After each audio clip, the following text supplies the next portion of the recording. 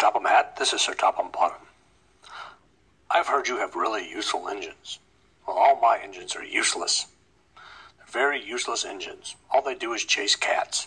I was hoping I could borrow Diesel 10 and he could eat all my engines and they would stop chasing cats. Thank you.